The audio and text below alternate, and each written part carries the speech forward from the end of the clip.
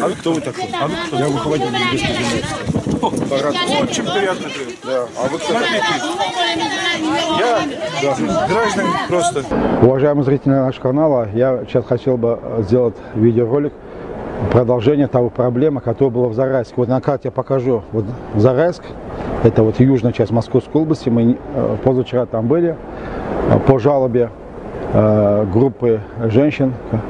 Там оказывается 250-300 человек, потому что некоторые уезжают, приезжают.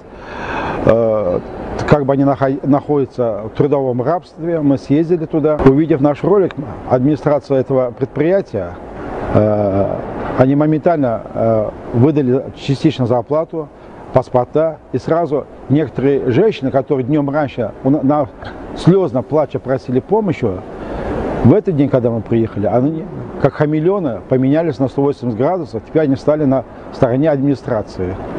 Хотя днем раньше они плакали, помогите, спасите, в таком состоянии. И вот купились да, какие-то копейки. К нашему приезду, когда значит, днем раньше мы выпустили этот ролик, э, уже э, было известно, оказывается, и местным властям, за час до нашего приезда, ну так как мы уже говорили, что будем в 12, но мы приехали с опозданием на полтора часа, там уже было и полиция побывала, и прокуратура побывала, и ФМС побывала комиссия. В общем-то, нас уже там ждали. В это предприятие, куда э, проходит только с особым пропуском, даже работники прокуратуры или полиция э, должны пропуск выписать, чтобы туда зайти. Но к нашему приезду ворота были широко распахнуты, шлагбаума не было, надписей не было, знака какого-нибудь кирпича не было, охранника не было. А, они знали, что у нас будет э, энное количество машин, люди широко распахнули, чтобы въезжайте. То есть мышеловку открыли, а потом, чтобы она захлопнулась. Вот. Мы, не зная об этом, въехали э, до конца двора, это где-то очень длинный, оказывается, в общем-то, промышленный объект.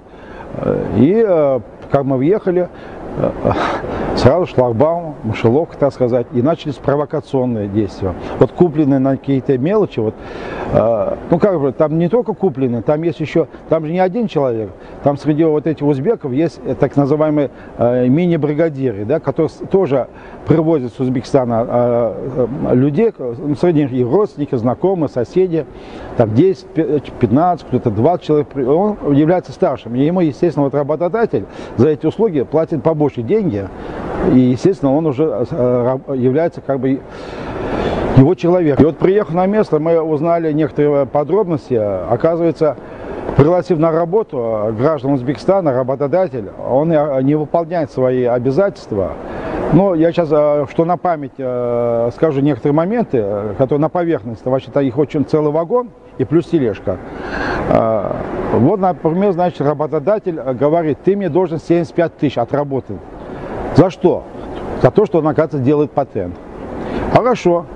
Вот это оформление патента смесь, э, вместе, вместе платы э, обходится 22 тысячи, это в Московской области, а если это было бы в городе Москве, то 14,5 тысяч. Дальше, значит, 75 тысяч где и 22 тысячи где, да? Вот разница какая, да, Су существенная. Вот. На, пол, э, на более чем на 50 тысяч он уже накручивает. Дальше, э, вот этот бригадир узбек, э, Джамал, Оказывается, при э, ежемесячной оплате патентов с работника берет не по 4300 рублей, это э, государственная цена назначена, фиксирована, да, а по 5000. То есть с каждого 700 рублей оставляет себе. Это получается более 200 тысяч рублей в месяц. Дальше считайте, при выдаче зарплаты, э, там небольшая зарплата ежемесячная, там 5 тысяч где-то в районе, он себе в карман присваивает по 1000 рублей. Это умножать на количество там 250-300 э, человек, это еще получается 300 тысяч рублей приблизительно. Итого, только вот на этом сумме получается полмиллиона рублей он имеет. Если кто хочет уходить, увольняться, он с них требует заплатить 75 тысяч, потом пожалуйста. Итого получается полмиллиона рублей. Мало того еще, значит, э, условия э, договорные, э, то, что там будет бесплатное питание, бесплатное жилье и прочее, не, не все так, как договаривались. Так называемое питание, вот я опрашивал работников, говорит, ну, после этого питания у нас поносы, отравляемся, желудок болит, поэтому мы практически эту еду не едим. сами э, покупаем э, продукты, вот, э, у ворот магазин и сами готовим. Это практически мы питаемся за свои деньги. Жилье, она тоже не приспособлена. Она, значит, нет на учете э, Роспотребнадзоре, санэпидемстанции, нет вентиляционного освещения хорошего нету. Э, Даже вот э, места питания, вот открылась тайна, когда приходит э, проверка, они, оказывается, столовые закрывают на замок. Оказывается, э, у них по бумагам, у них столовой места питания нету вообще. Если э, комиссия застала бы, что они там кушают, и посмотрели на бумаги, оказывается, вообще-то места питания нету. Как же они их три раза кормят, а вот одна даже переборщила в, в- в ролике, да, хваля. Вот под- одна купленная женщина говорит, нас пять раз в день кормят, говорит. Аж не три раза, а в пять раз в день. Ну, как они кормят, если по бумагам нет столовой. Мы были вот когда в прокуратуре, э, и там следователи Следственного комитета вызвали. Вот этот момент они обратили внимание. Там по бумагам места питания столовой нету, а там их пусть даже хоть 10 раз в день кормят. Как? Это тоже нарушение санитарных норм. Потом, значит, ни у одного, даже у тех, кто на стороне администрации, купленный, да, ни у одного человека на руках нет трудового договора. Не говоря уже о должностных инструкциях. Дальше, значит, ни у одного из этих э, 300 почти человек, даже у тех, кто э, является приближенным э, к руководству и получает большие деньги, как бригадиры, мини-бригадиры тоже, да, свои, да, ни у одного из них на руках нет трудового договора. Если сейчас они даже сделают задним числом трудовые договора, да, эта Филькина грамота будет раскрыта, потому что каждый трудовой договор сразу должен быть зарегистрирован э, ФМС. Ну, теперь не ФМС называется, а, значит, Управление по делам миграции Московской области, УВМ называется. Вот, она должна быть зарегистрирована. Поэтому они сейчас уже не смогут сделать задним числом, заднее число они поставят, но э, там-то будет зарегистрировано уже сегодняшним днем, а они-то работают, кто полгода работает, кто больше, кто э, чуть меньше, э, без трудового договора. А по законодательству, если, значит, э, они работают незаконно, а они, естественно, работают незаконно, без трудовых договоров, значит, работодатель, владелец этой фирмы, он должен заплатить государству за каждого иностранного работника, незаконно работающего, от 400 тысяч до 1 миллиона рублей бюджет государства. Вот умножьте, сколько миллионов получается. Вот этот работник, Я еще раз повторю, что работодатель, э, приглашая на работу, э, обещал им золотые горы, но на месте оказалось совсем не так. Не, так называемое бесплатное питание, это оказалось э, кормежка, которую э, можно давать э, там, свиньям или еще кем-то, потому что работники говорили, что это в основном роллы и какие-то тухлые продукты, после чего у них поносы были и прочее, прочее. В день, когда мы были, увидев наш ролик, э, прокуратура и другие органы послали туда комиссию. Мы немножко опоздали, э, так что комиссия за, за, за часа полтора-два до нас была, да. И вот работники рассказали, когда пришла комиссия, многих их, их э, э, спрятали по разным углам. Кого-то нужно спрятать. Поэтому вот такие комиссии бывают, э, ненужных людей, они прячут, закрывают сверху, но вот э, количество уменьшает, так что у многих там еще работают, э, даже если их документы уже они подали на получение э, трудового патента, но они уже работают. Но это нарушение, пока не будет на руки получен трудовой патент и не заключен договор, он ни одного дня, даже за день до начала этого не имеет права работать. Они работают с первого же дня. Потом, значит, я еще хочу отметить о графике работы. У них смена длится трудовая с 8 утра до 8 вечера, то есть 12 часов. Плюс у них еще так называемые э, подработки, э, или как они еще называются, халтуры, говорят они сами между собой. Эта халтура длится еще как минимум 3-4 часа. То есть, значит, здесь они с 8 до 8 часов работают 12 часов, плюс халтура 4 часа, так называемые. Ито- Итого у них трудовой день длится 16 часов. Выходных никаких нет у них. Они работают без выходных, так как вот э, прошел несколько метров, у них как бы лежанка. И по 16 часов. Теперь давайте будем ссылаться на закон. Посмотрим Трудовой кодекс Конституции Российской Федерации. На законодательстве Российской Федерации установлено, трудовой день не должен быть более 8 часов. Трудовая неделя должна быть не более 40 часов в неделю. Но они-то работают в два раза больше. У них, значит, получается, э, и если учитывая, что они еще субботу воскресенье работают, то они в неделю работают э, не 40 часов, а более 100 часов работают. По законодательству, если, значит, работник работает сверхурочно и выходные э, праздничные дни, то работодатель должен платить им э, за оплату в двойном размере. Тут о таком двойном размере и, и речи не, э, тут нету. Если даже возьмем, значит, э, 8-часовой рабочий день за основу э, и 40-часовую неделю, то за этот график работы э, вот по нормативам Московской области минимальная зарплата установлена 14 тысяч рублей. 14 тысяч рублей. Вот давайте теперь просто- простая арифметика. Возьмите в ручку, ручку и бумагу, посчитайте. 40 часов в неделю умножьте значит, на месяц. За это они должны получать не менее 14 тысяч рублей. А теперь ум- умножьте это фактически на... Они работают по 16 часов, да? И тогда это, это ш- э, ч- 14 тысяч увеличивается еще в 2-3 раза. А если мы еще будем учитывать, что за сверхурочно они даже получают в двойном размере, то еще несколько раз. То есть они должны получать порядка в месяц, приблизительно, по моим прикидкам, около 70-80 тысяч рублей. 70-80 тысяч они как минимум должны получать. А им платят э, по, по бумагам где-то около 20 тысяч, а фактически на руки они получают в месяц там 5, 6, 7 тысяч рублей, потому что отсюда они сдирают ежемесячно зарплату э, как бы якобы расходы. Но отвечая на вопрос, почему они э, работают э, сразу, не получив патент, ну для того, чтобы э, с них выжимать побольше соков, так сказать, потому что работодатель их же так вот этим ролтоном кормит, но ролтон тоже копейки стоит, а он с него деньги должен быстрее выжимать. Потом некоторым они оплачивают проезд в, автобусе, да, но автобус, в отличие от, от самолета, намного дешевле. Э, Он должен еще отрабатывать эти злополучные 100 с- э, долларов, которые он заплатил якобы за автобус. И еще хочу отметить, да, вот еще не прошел год, как у нас 52 человека сгорели в автобусе. И вот эти дни, когда вот 52 узбекистанца живьем сгорели в автобусе э, на территории Казахстана, во всех э, интернет-сообществах, по телевизору, везде все кричали, что нужно запретить автобусы. И я тоже э, был против автобусных поездок, да? Что кто рекламирует автобусный рейс, это нехорошие люди, я уже мягкими словами говорю, чтобы не, вы- не выходить на, э, не- в нецензурную речь. Что это враги, что их автобусом возят, что это на смерть, ри- риск, там же и дети погибли, и женщины, да?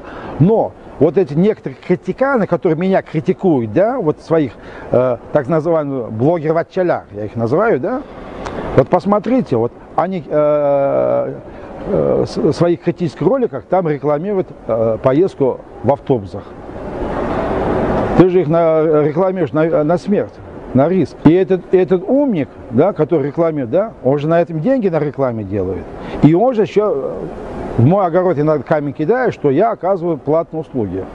Извините, и по мусульманскому обычаям, и другим, да, и государственным, если я работал, труд должен быть оплачиваем. Но я э, где-то э, э, и бесплатно работаю и так далее. А ты вот здесь рекламируешь вот эту поездку в автобусах, не дум, э, еще не остыл э, э, место 52 погибших. Но на ваш вопрос, почему они, э, у них есть на руках телефон, не вызывают полицию, или, или он, выйдя к КПП и не уходишь, да? Рабство, есть разные варианты. Он вроде бы открыто ходит, может он выйти и вроде бы не раб, да? Но есть другие рычаги того, чтобы он не убежал. Это а, отнять у него паспорт, не давать ему деньги, без паспорта он вышел э, за ворота до, до первого полицейского. До первого полицейского. Его заберут, он э, так называемый спецприем, он ЦВИК называется, суд, несколько месяцев там будет сидеть и потом выдворение. Но они потом еще приехали, какая бы э, ситуация ни была, они в любой ситуации приехали быть готовыми работать, хоть какую-то копеечку э, найти и послать детям. Они, они искать здесь правду. Поэтому они на все соглашаются. Хотя вот я слышал, что там насмотрщиками поставили, э, так сказать, этнических таджиков. Э, их там, оказывается, некоторых, кто непослушные, их там и бьют, оказывается. Вот такие моменты. А таджики таджиков не бьют. Потому что они много. И больше, чем вас? Да. Два раза. Вот. О, Господи, откуда же они там взялись два раза больше? Вот, а в том, что их никто не тронет, я вам уже сказал, когда вы пришли сюда. Время это было вот 6 часов вечера. Я вам сказал, что вопрос с руководством я позвонил, обговорил.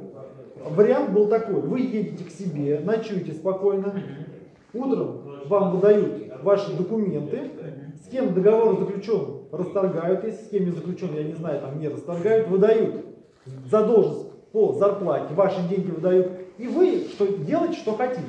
Вы сказали, что вы туда боитесь ехать, поэтому мы задержались здесь еще на три часа, вот со всеми вытекающими. На сегодняшний день паспорта у вас на руках, это раз. У вас, либо вы идете, у вас место есть, где ночевать, я так понимаю, это второе, вы идете ночевать. Если у вас места нет, здесь ваши люди, с кем вы приехали, обещали вам, я так понимаю, либо поездку в Москву, либо еще куда-то. Здесь мы вас оставить ночевать не можем, это режимный объект. Вот. Вопрос по зарплате завтра до обеда будет решаться. Понятно, да? В настоящее время объяснения с вас взяты, взяты объяснения. Полиция сейчас находится в, э, на заводе и проводит там свои следственные действия. Если необходимо, вот те, кто телефон оставил, мы с вами свяжемся, свяжемся для получения дополнительных объяснений. Вот сейчас понятно вот это, что я сказал? Понятно. А, есть- Вопросы есть? есть. Спрашивайте. Если завтра они не дадут утром Завтра, смотрите, патенты завтра с утра в 9 часов, в 9 часов я звоню руководителю Бабков и тот, кто занимался вашим оформлением. Я утром отзваниваюсь и спрашиваю, как решается вопрос по вашей заработной плате. Вопрос завтра это решится в любом случае. Почему? Потому что и нам, и вам не надо, чтобы вы к нам приходили, да? Да, да, и мы, то есть лишние как бы друг друга создавали проблемы, вот чтобы этой толпы опять не было. Так что поэтому они, э, э, имея телефоны, не, не звонят милиции, не уходят, потому что у них паспорта отняты, денег у них на дорогу нету. А если каким-то путем все-таки обратиться в полицию и так далее, да? А полиция, я сам там видел э, ситуацию, я считаю, что полиция их практически крышует. Я пока говорю полиции вот о недостатках, вот нарушениях, а полиция и еще работник, начальник ФМС, э, ну, УВМ, на- а, УВМ называется отдел, госпожа Лукьянова, там вместе с руководством местной полиции, вот город Зарайск, посмотрите на карте, вот, они э, выступают в роли адвокатов э, нарушителей законов. Мы сейчас обращались в полицию, но полиция, э, по нашим сведениям, э, был на, на стороне э, вот работодателя. Мы тут провели несколько часов, но э, дело фальсифицировала полиция в сторону незаконного э, предпринимателя, который забрал паспорта и не дает зарплаты. Xonadan deyapti. Nimaga И мы сейчас, из, э, видя, что такая ситуация, бесполезно здесь в полиции находиться, мы решили э, пойти сейчас в Следственный комитет, э, местный отдел. Тут бесполезно крышует или там, я не знаю, там, э, э, ну, я, э, Да, видно, что подтверждается вот такие вот ситуации. Потерпевшие, которые зашли в отдел полиции, вместо того, чтобы за- брать заявление, э, прямо у входа полиции с них берут у каждого отпечатки пальцев. заявители. pasportni тоже дают, не дают. pullarini ham gapiringlar oilanglar olgan тоже olmaganlar не дает bu rus tilida pasport rus tilini bilmayman nima sababdan endi jamol ishlamayapti ekan bugun ishlayotgandiku kecha ham yangi odamni olib так ну что поехали в следственный отдел а потом прокуратура Вообще-то вот это то, что я рассказал, это чистое уголовное дело должно быть возбуждено, и это компетенция даже не полиции, еще кого-то, а это компетенция Следственного комитета. Это когда не, выдают зарплату в большом количестве э, и большом количестве людей в больших размерах, это, это основание возбуждать уголовное дело Следственного комитета. А Следственный комитет, вы знаете, она занимается уголовными делами. Еще один тонкий момент хотел бы отметить. Да, вот тут э, не- э, вчера один э, так э, блогер выпустил э, против нас ролик, где он оправдывает работодателя, что якобы наоборот вот эти бедные узбеки, они нехорошие, что якобы работодатель заплатил на, для того, чтобы они приехали, оформили документы 70 тысяч, и якобы что он на год вперед заплатил за их патенты. Но это сущая ложь. Этот э, блогер, он сам, как он говорит, э, ну, в Москве работал и, ра- и будет, приезжал, он здесь бывает часто, чисто на русском языке говорит. Э, все э, знают ситуацию здесь, в России, да, и он прекрасно знает, э, что за патент за год вперед не платится. В соответствии с постановлением правительства Российской Федерации патент может оплачивать в трех э, э, э, видах временных. Э, э, Это значит на, за один месяц, за два месяца и не более чем за три месяца. Максимум за три месяца может запла- заплатить. А она, значит, Московская область стоит 4300 рублей, и того умножим на 3, максимум можно заплатить 12 900 рублей. А вот этот блогер, он всех обманывая, и все ему там хлопает, говорит, что они за них за год вперед заплатили. 70 тысяч он говорит, а работодатель говорит, 75 ты нам должен. Вот. Так что, получается, он всем э, вам э, лапшу на уши вешает, врет. А, Это постановление правительства Российской Федерации. Более чем на три месяца нельзя платить. Вот. И еще же он же в этом ролике называет меня почему-то мошенника, оказывается не я, а он сам мошенник. Если, даже э, любой э, здесь мигрант знает, что, что более чем за три месяца вперед плат- оплаты не принимаются. Это просто по- банки не примут оплаты. А он тут всем вам лапшу вешает, что за год вперед оплачен за патент. Пользуясь моментом э, прокурора города Зарайска, она, э, несмотря что уже э, был э, конец рабочего дня, уже мы пришли в прокуратуру практически без 10 6 вечера, и она выходила уже, э, на пороге была, она вернулась, и она еще с нами там э, более часа-полтора была, всех на, на ноги поставила, вызвала полицию, вызвала Следственный комитет следователя, обратила внимание на э, стоящих тут женщин, мужчин, у кого в галошах, кто в тапочках в этот холод. Она э, сделала все, чтобы э, в рамках закона помочь. Вот этот блогер, который э, говорит, что благодаря из-за нас эти люди остались на улице, нет, прокурор дала указания, чтобы их э, сегодня опять, чтобы они ночевали там же, где они зарегистрированы и работали. Это указание прокурора города Зарайска. Они, я э, сделал так, чтобы они оказались на улице. Я вам сказал, что вопрос с руководством я позвонил, обговорил. Вариант был такой. Вы едете к себе, ночуете спокойно. Утром вам выдают ваши документы. С кем договор заключен, расторгают. Если с кем не заключен, я не знаю, там не расторгают. Выдают задолженность по зарплате, ваши деньги выдают. И вы что делаете, что хотите. И поэтому, э, значит, полиция и другие, значит, кто там этим занимался, они привели этих женщин туда, потребовали у работников, не работников, а вот это работодателей, чтобы их там отпустили, у них там вещи, но чтобы не было конфликта э, с теми, кто куплен уже, да, сказать, да, их просто повезли, не повезли, а там через дорогу там еще одно помещение было, вот, э, там видеоролика, который в меня кидал камень, э, он там показывает, чтобы не было как бы э, драк, какие-то эксцессов, их э, в другом здании поместили, они там переночевали. Э, Наши ребята э, из-за нашего актива тут некоторым уже подобрали работы, и намного лучше, чем там. э, Прямо в Москве, недалеко с метро, теплый цех, э, вот, э, вот в пекарне, где там лепешки пекут. Э, Вот, э, голодным никогда не останешься. Вместо Ролтона будет кушать горячие лепешки. Вот тем полмиллиона рублей, которые вот этот э, бригадир, управляющий делами, как его имя, Узбек из Самарканда. Пом- Мы с вами посчитали, что он, значит, по 700 рублей, более 200 тысяч имеет э, наценка с патентов с них, по 1000 рублей с каждого э, при выдаче зарплаты еще 300 тысяч имеет. Итого более полмиллиона. И еще мне работники рассказали, что он еще ставит свою, значит, свои проценты от э, сверхурочного, когда смена заканчивается, они еще 4 часа работают, за каждое изделие он ставит свой процент, ну там сдельная работа, и он от этого из сверхурочного тоже имеет.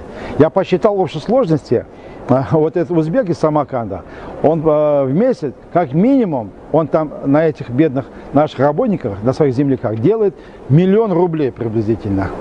Миллион рублей он имеет вот на таких делах. Вроде бы небольшие деньги, по 1000 рублей за это, по 700 за это, за сверхурочный там. И того миллиончик имеет, вот так, молодец. К нашему приезду уже готовились, готовились провокации, э, так как мы, у нас сзади было объявлено, что мы приедем в 12 часов, но приехали и те э, люди, которые поддерживали нас, э, где-то около 10 машин было, ребят, э, и в каждой машине по несколько человек.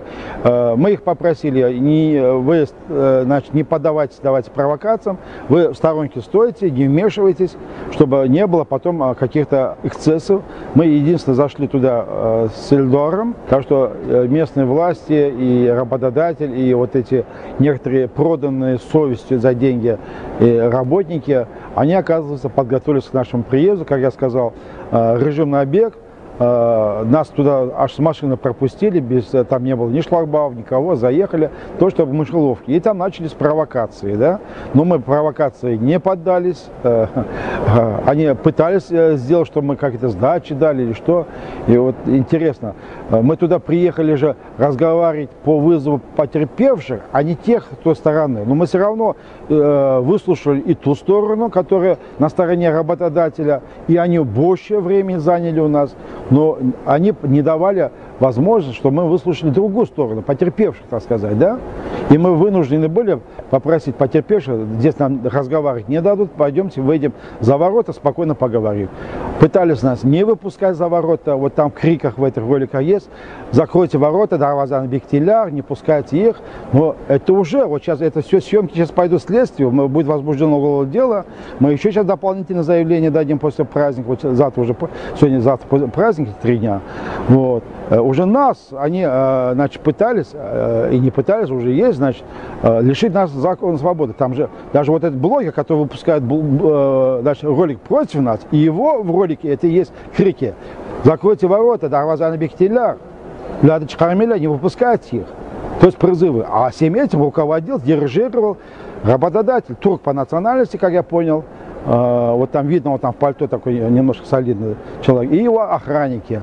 Там они подталкивали, и в роликах тоже в некоторых моментах есть, как он и рукой подталкивает, э, подсказывает, давай, давай. Вот они хотели нас взять в заложники, забрать у нас э, видео, аудио, э, аппаратуру и у меня, и у моих коллег. Все-таки один телефон они все-таки украли э, с кармана, э, вот, Samsung. Когда мы в полиции об этом сказали, да, вот э, работодатель, он предложил э, нам новый Samsung купить. А, Мы отказались, дайте нам лучше наш старый. И их не интересовала аппаратура, их интересовала наши записи, которые там. а. Вот, поэтому они нам новый предлагали, но мы отказались от этого. А вы кто вы такой? А вы кто? Я руководитель Очень приятно.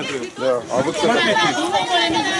Я да, гражданин просто. Если граждане, а что вы э, здесь делаете? Так не говори со мной. Что вы делаете здесь?